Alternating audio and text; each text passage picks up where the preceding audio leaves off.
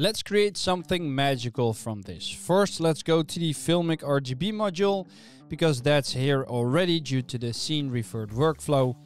And let's go to look and then change the contrast from 1 to 1.1. Now the whole reason for that is because 1.1 still makes this look good. Anything above it will make it look bad. Right, this image definitely needs some polishing. So for that, I'm going straight to the color balance RGB module. I'm going to activate that one, going to the masks, and then I'm going to click here, contrast gray fulcrum, right?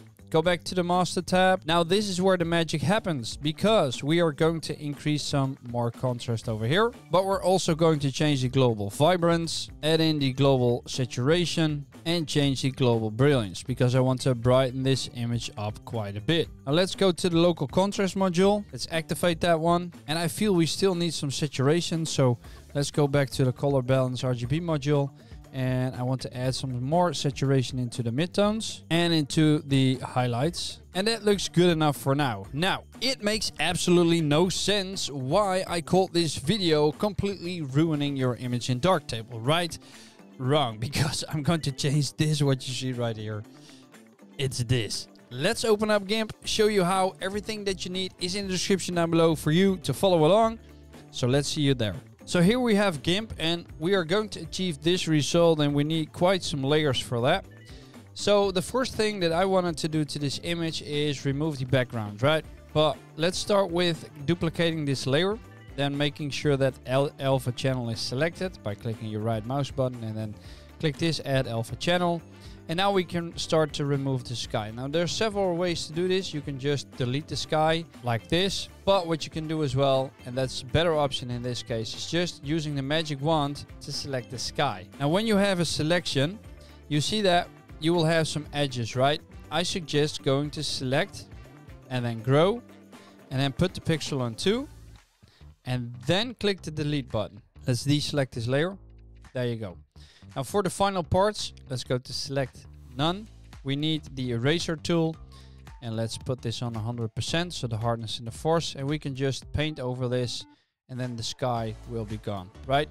Now to sell this effect, we need to work on these windows. So in order for us to save some time, I'm going to decrease the size and I'm going to, let me change the brush real quick. Let me change the size to around three maybe. There we go and then put the aspect ratio on zero and then just paint over this okay and then once you're done doing that hold control scroll the mouse wheel button towards you to zoom out again and now it's time to add in the layer of the sky, right? Like I said, everything can be found down below. Now to add in a layer, go to File and then Open and then find it or go to the folder and then just drag and drop it into GIMP. When you do that, you will get a pop-up and that pop-up will say to either convert or to keep. Just click convert and you'll be fine, right? So right now you only see the sky. We don't see our image anymore. And that is because we need to drag this down beneath this layer. Now grab the move tool and then position the sky any way you like, right? So I wanted it to be something like this. So now what I want to do is I want to duplicate this layer and now we need to work on the colors. The reason why I'm duplicating it is because we've always got an original that we can refer to or look at. And with this top layer selected, we're going to work with the colors. Now I want the tints to match with the tints from the sky. So it needs to be kind of purple, reddish and dark as well because we don't have a lot of light coming in here. So for that, let's go to the color tab and then we can pick something to work on. So in this case, I'm going to use the color balance one, and that will allow me to change the colors in the shadows, midtones, and the highlights. And for the shadows, I'm going to move towards to the reds. And for the midtones, I'm going to move towards the magenta. There we go. Let's click OK. I also want to change the exposure. So let's drop the exposure to make it more dark. Let's increase the black level as well. Let's click OK and that already matches a lot better. Now let's go back to colors again. And then in this case, let's use the hue saturation one. You can change the hue here. You can change the lightness here to make it even more dark or make it more bright. So let's make it slightly more dark.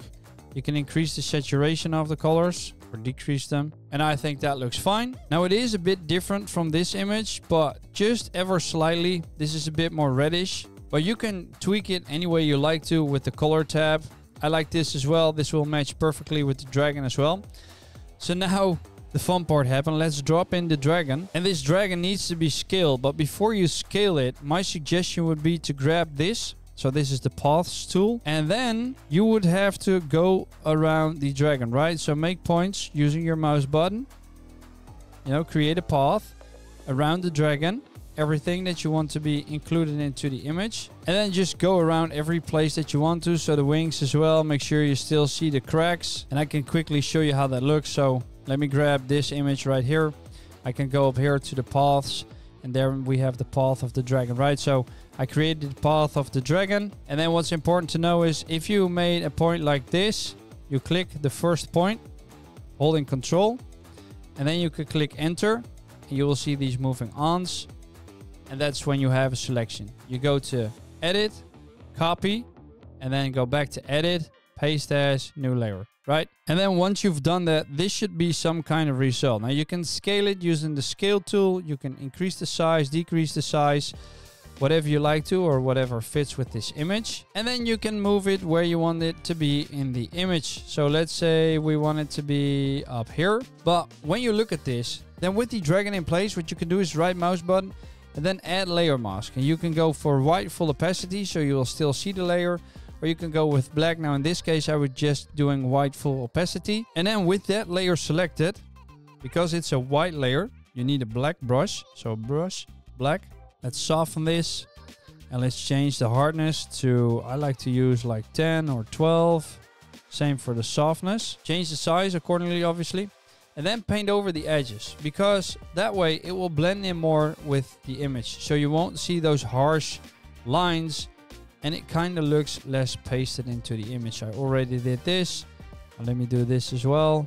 So I'm just going to paint over this to make it more smooth and make it blend in more with the environment okay same goes for here with the nails because you want the nails to be inside of the forest. So you would need to just, you know, paint over this a bit so that they kind of get lost when it comes to details. And then I want the wings to be behind this house, okay?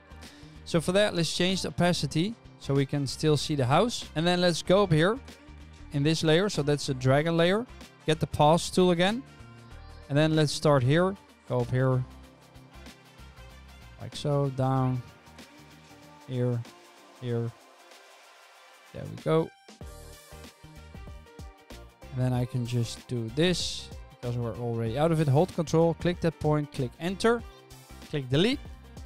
And now the house is in front of the dragon. Select none. And then make sure you change the opacity to 100% again.